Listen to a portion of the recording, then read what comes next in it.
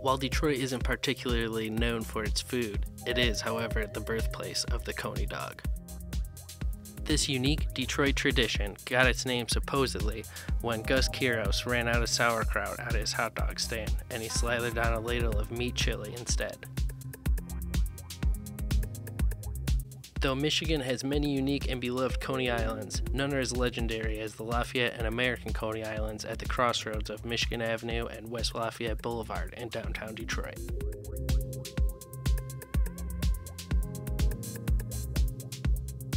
Both restaurants have stayed true to their history. Running and operating out of the same location for nearly a century, both places have become landmarks in the city of Detroit. It all started in 1903 when Constantine, or Gus Keros, immigrated to America from a southern Grecian city called Dara. Keros, like so many immigrants, came to America through Ellis Island and headed to Detroit in search of a job. Unable to find work, Keros began shining shoes and selling hot dogs with chili on them out of a cart on the corner of Michigan Ave and Lafayette Boulevard.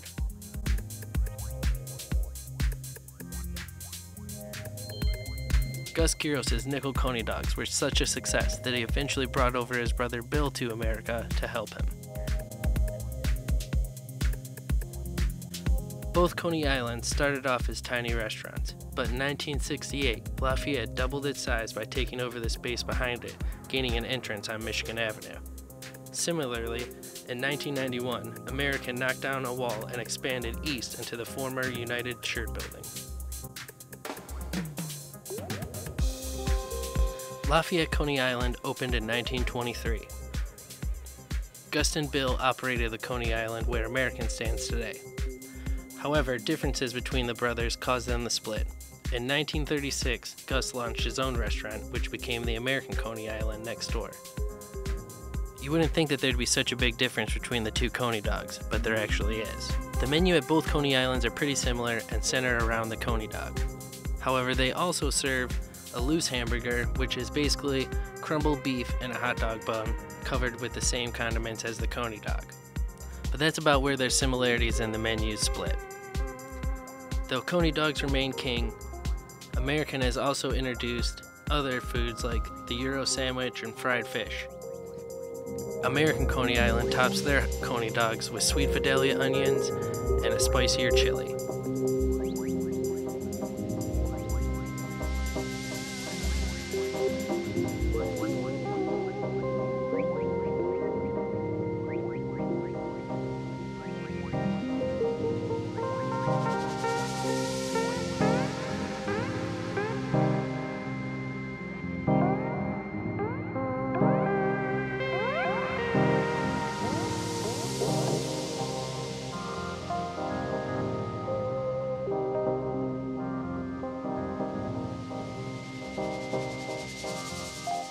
After finishing a Coney at American, I decided to head over to Lafayette to try one of theirs.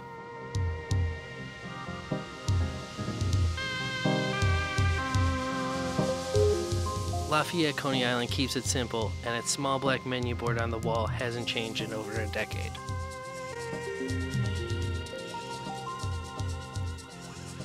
Walking into Lafayette Coney Island is like going back in time, with its old fashioned formica counters, short stools, and tiled walls. Lafayette Coney Island tops their Coney dogs with Spanish onions and a beefier chili.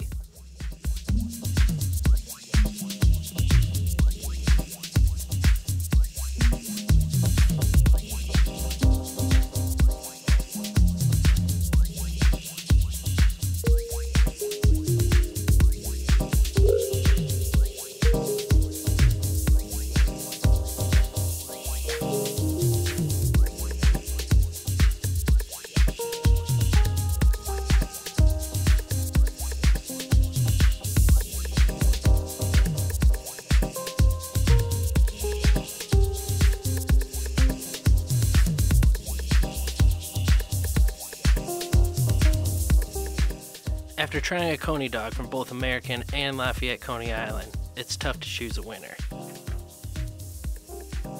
Both places buy their hot dogs from Dearborn Sausage and their buns from the Metropolitan Baking Company in Hamtramck. With both places using such similar ingredients, you wouldn't think that there'd be such of a difference. But you can definitely tell with the beefier chili at Lafayette and the spicier chili at American Coney Island. I came into this experiment with a slight bias because I've always been a Lafayette Coney Island fan myself. However, on this particular day, I did enjoy the American Coney dog better than Lafayette. But when it comes down to it, it's not just about the Coney dog, it's about the atmosphere. Both Coney Islands are similar in their menus, but are contrastingly different in their atmosphere. American Coney Island's spacious dining area gives for a more relaxed atmosphere compared to the Lafayette's hustle and bustle next door. So, in the end, it's not really about which one you choose to eat at, it's about who you choose to eat it with. I mean, you can't go wrong at either place, they're both delicious. And if you end up not liking it, you can just walk next door and try the other one.